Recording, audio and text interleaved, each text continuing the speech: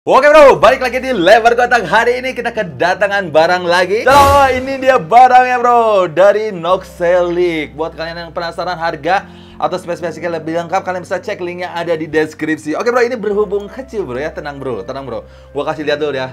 Nah, ini bro ya Kayak kelihatan kan ya, kelihatan Noxelic Bukan cuman ini doang bro, bukan cuman ini doang Masih ada lagi, tunggu sebentar Jeng jeng, ada lagi Jadi ada dua bro, dari Noxelic bro ya Oke ini buat mouse, ini buat apa tebak? Iya bro, ini buat headphone. Jadi ini cukup bro ya. Apakah cuma dua doang? Masih ada pak, satu lagi pak. Tada, ini dia bagnya bro. Ini dia tasnya yang ketiga bro. Jadi kita hari ini dapat apa aja? Pertama dari Noxelic, ini untuk mouse-nya, buat nyimpenin mouse. Terus kedua ini dari Noxelic juga, ini buat nyimpen headset atau pernak-pernik lainnya. Dan yang terakhir ini tas gaming buat nyimpan segala macam, termasuk mouse, termasuk headset atau juga keyboard kalian atau mungkin uh, laptop gaming kalian mungkin bisa masuk seperti ini. Oke bro, jadi ini dia produk dari Noxelix. Sekali lagi ini ada untuk mouse, ada headset dan juga ada bag atau tasnya. Kenapa ini penting? Soalnya buat kalian yang misalnya suka bepergian ke rumah temen atau untuk main game bareng atau juga ke turnamen-turnamen besar biasanya rata-rata kalian bawa keyboard sendiri atau mau sendiri atau headset sendiri. Jadi ini penting banget bro, yang namanya gaming gear bag ini bro. Oke yang pertama kita bakal lihat dulu Noxelic untuk mouse, oke? Ini dia penampakannya ini kayaknya dijahit bro ya, dijahit kah? Ya kayaknya dijahit ya. Kayak kita lihat dalamannya set, ya ada busanya dua. Ah, oke dalamannya hijau keren bro ya. Ini juga hijau, pinggir-pinggirnya dan ini hitam bro. Oke jadi ini kayaknya cukup untuk mouse gaming kalian, mau yang kecil yang gede juga kayaknya masuk bro. Ini lumayan gede. Oke, sekarang next. Yang kedua penampakan untuk headset dari Noxelic. Oke, ini ada buat dibawa ke mana-mana bro. Jadi misalnya kalian cuma butuh headset doang dibawa, jadi kalian gak usah bawa semuanya bro. Sekali lagi kalau mau headset doang cukup bawa tas ini aja bro. Jadi tas yang gedenya gak usah dibawa ya. Ini soalnya udah ada ininya juga buat selempangnya bro ya. Oke. Okay. Kalau kalian lihat sebelah sini depannya kayaknya di sablon. Ntar gua bakalan cek ini gampang copot apa enggak. Sabar aja bro ya. Kita lihat. Oke sekarang ini ada bukanya. Ini belakangnya ada kayak tas gitu bro. Kayak sebelah sini ya ada sedikit ya mungkin buat nyimpan entahlah apa itu kertas atau segala macam. Oke, sekarang kita bakalan buka bro. Kita lihat set. Jeng jeng jeng jeng. Oh, oke. Okay. Ini headset kalian masuk sebelah sini set. Oke. Okay. Terus kalau sebelah sini juga ini ada macam-macamnya bro ya. Jadi selain headset kayaknya bisa nyimpan untuk mouse juga deh bro sekalian. Jadi kalau kalian butuh mouse sama headset, jadi cukup bawa ini aja bro ya. Oh. Oke, okay. nice bro ya.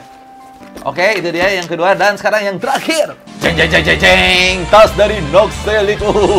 Lumayan gede tapi nggak gede-gede amat bro ya. Ini belakangnya oke, ini ada busa-busanya. Terus ini ya ada selempangnya juga bro. Set, jadi miring ini mas. oke. Terus ini tampak depannya. Kayak ini ada sleting buat masukin buat peralatan gaming yang lainnya bro sebelah sini. Oke. Sekarang kita bakalan lihat. Oh ini juga sama bro, ini di sablon juga. Ntar gua bakalan cek ini gampang copot apa enggak. Oke, kita lihat dalamannya bro ya. Oke, sletingnya ini dari pinggir ke pinggir. Set! Oke, kita lihat bro. Dun, dun, dun, dun, dun. Eh, nyangkut. Dun, dun, dun, dun. Oke. Ini ada dua bro ya, sebelah sini sama sebelah sini. Kalau yang ini kayaknya untuk nyimpan keyboardnya kalian tinggal buka. Nah, ntar keyboard kalian tinggal masukin ke sebelah sini. Atau mungkin eh, laptop gaming juga bisa bro. Oke, kayaknya bisa bro. Dan yang sebelah sininya mungkin untuk headset bisa, mouse bisa, atau yang segala macamnya bisa bro lengkap bro. Oke bro, tanpa berlama-lama lagi kita langsung lihat aja performa dari Nox Selic ini. Let's go!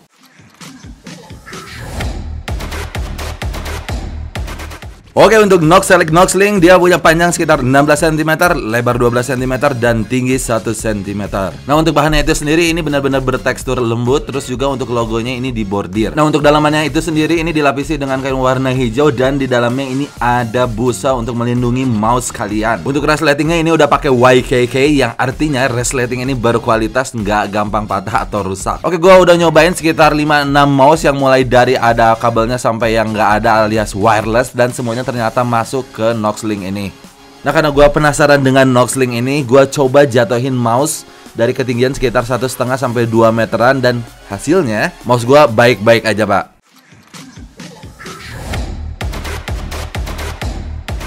Oke sekarang kita bakalan masuk ke Noxelic Novus V2 Yaitu tas gaming headset Untuk ukurannya Noxelic Novus V2 ini punya panjang dan lebar yang sama yaitu sekitar 23 cm dengan tinggi 10 cm Oke untuk bagian depannya ini ada kain bertekstur plus juga logonya di sablon Tapi nggak usah khawatir ini lumayan kuat pada gue cobain dikorek-korek masih oke okay. Terus bagian belakangnya ini ada kantong buat kalian nyimpan sesuatu Plus juga ini ada selempang atau tali buat dibawa ke mana-mana Yang artinya kalian bisa copot atau dipasang lagi dengan gampang. Oke, sekarang kita bakalan lihat dalamannya. Untuk sisi gelapnya di sini banyak banget slot-slot mungkin buat nyimpan kartu atau chargeran atau kabel lainnya. Plus juga ada lubang untuk kabel headphone. Jadi misalnya kalian lagi bepergian pengen ngedengerin lagu, kalian tinggal pasang headphone kalian terus kalian kabelnya masukin lewat lubang ini ke handphone kalian yang ada di dalam tas ini. Nah, untuk sisi terangnya di situ yang ada jaringnya untuk nyimpan headset gaming kalian. Untuk belakang, pinggir sama depannya ini semuanya empuk Jadi bisa melindungi headset gaming kalian dari benturan atau ketika jatuh